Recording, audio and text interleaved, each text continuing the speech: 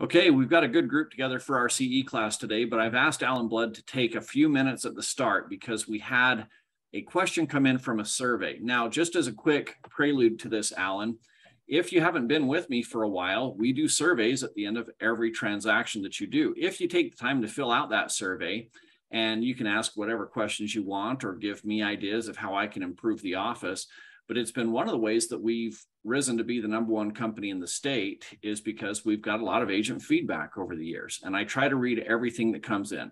So one of them had a question for alan requesting some training and so i've asked alan to come in and take a couple of minutes right now and cover one topic and then maybe next week you can cover the second topic. But alan will you take it away for a little bit? All right let's do it. So the question was uh, related to what a 2-1 buy down is and is it a good idea and how does it work and so I think that's a that's a real valuable one to talk about. So let me talk to you about what a 2-1 buy down is first, and let's talk about whether it's a good idea or bad idea. So a 2-1 buy down, the idea is that uh, the first year when you get a mortgage, the first year your interest rate starts at 2% less than what the rate will eventually be. And the second year, your rate is 1% less than what the interest rate will eventually be. So if your start rate on your loan or your uh, note rate is 5.5%, for example, year one, you'd actually be paying interest at three and a half percent, and then year two at four and a half percent, and then year three, and from there on forward, you go up to the five and a half percent rate. So it's a two-one buy down, meaning you're getting two percent better, one percent better, and you're back up to the note rate on the third year. Here's the good piece of it. The good piece of it is your buyer is going to have a lower payment for that first year, and then the second year. Um, the downside is it's no free lunch what's happening on a 2-1 buy down is you're just prepaying the interest for those first two years. So that rate will cost you 2% or 3% more to get that 2-1 buy down because you're prepaying the interest. The idea is as a seller, you could go in and say, okay, we're going to offer a 2-1 buy down to our buyers and we're going to pay an extra 3%. So let's say you're selling a house that's $500,000 and you're going to offer a $15,000 credit for a 2-1 buy down. And the buyer gets that loan and it sounds really good that might be a good marketing approach because it sounds really good. But I'll tell you, if you're on the other side of this, on the buyer side, the numbers are really not great. And let me let me give you some examples of what I mean. Um, number one, what you're doing is you're putting a buyer into a loan where, unless they're in a, an income situation where they're expecting to have a significant improvement in income over that first three year period of time, they're going to find themselves making a much, much higher payment three years down the road, really on the third year than they would on those first two. And if they're a first time home buyer, um, no matter how many times you tell somebody, hey, plan for this payment to go up, they don't plan for the payment to go up. And then they find themselves in a bad situation. And so that might not be great for the client for the long haul, number one. And number two, there may be a better way to accomplish getting them into an affordable payment that's a longer lasting payment. So figure you're buying a $500,000 house that the seller is going to give you $15,000 or 3% for a 2-1 buy down if instead you repurpose that money towards just buying the rate down. So right now, a par rate on a 30-year fixed, um, 740 credit score borrower with 5% down. So a really good client with 5% down. Your par rate today is about 5.2%. Par meaning you're not paying any points. Well, if you go to a rate where you're paying 3% to buy the rate down, in fact, you can't even pay 3% to buy the rate down. It's not an option because it gets too out of compliance. But imagine you could, your rate gets better by a full 1%, and you can get pretty close to that. So if you have the seller paying 3% in fees, well, you use two of it to buy the rate down, and then use the other 1% to pay the rest of the fees that decreases the borrower's cash. That rate goes better when you're paying that two points up front by almost 1%. But now you have that rate fixed for 30 years rather than a teaser rate for year one, a semi teaser rate for year two, and then a much higher rate for the period of time. So you're using the same money, you're purposing it different, and you get a better long-term solution. The only thing you lose by doing that is in year one, your payment would have been better because you've had a rate 2% lower instead of 1% better. But the trade-off being that if this client has this house for any period of time, they have a much lower consistent payment and they've used the same money. So if you're a seller and you want to use that as an advertising tool, like any other advertising tool, it could be good.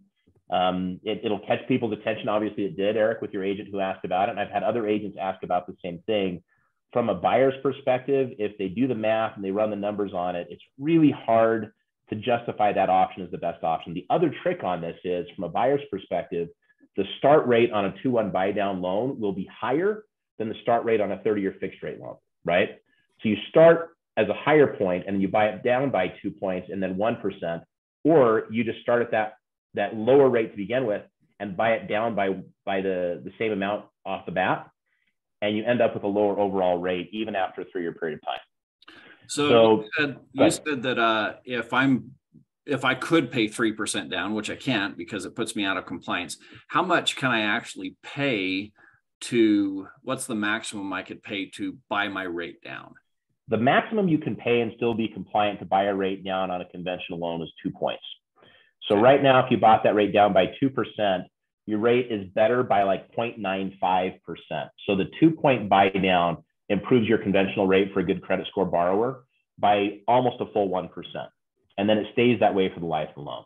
So and then I if you wanted, did, so if I wanted to market this as a seller, if I want to present this as a marketing option for my sellers, we could offer a, a, 2% or a two point buy down of their rate, which would drop it down about a full percent. Yeah. Help, help people qualify and it'll actually save me money. It'll save them money over the long term and it saves me money because it's going to save them that 1% over 30 years instead of 3% over three years. Yeah. Um, so yeah.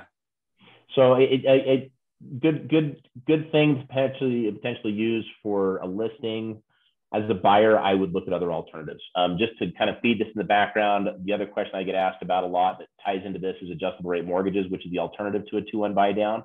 Right now, the rate on a 30-year fixed at all cost levels is the same or better than the rate on a five and a seven-year arm at all cost levels meaning there's no justification for an adjustable rate mortgage right now.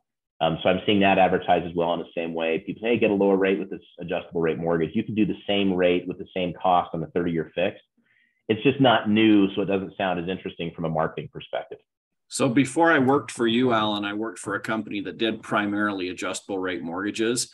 And interestingly enough, they never showed me a rate sheet other than what their company provided you were the very first person out of i think four lenders that i worked for that showed me a back end rate sheet and that was the first time that i saw that that banks and lenders were making points on the back end that they were not disclosing to people. And and quite frankly quite frankly um, most of the loan officers weren't aware that they were selling rates higher than par and that their bank was making bank on the back end of all of these people. So I really appreciate and have appreciated over the years your approach to discussing what par rate is and how you can sometimes save money by going a higher rate because you yeah. don't, you know, I mean, it all depends on what your goals are. If you're going to stay there forever, it makes sense. Pay a little bit more, get that lower rate. You're going to live there for 30 years. If you know you're going to move in two or three years, take the higher rate and save yourself $7,000 in closing costs and you'll come out ahead financially. And, and I like your approach. So I appreciate you taking the time today to do this. Let me interject one more quick point yeah. here.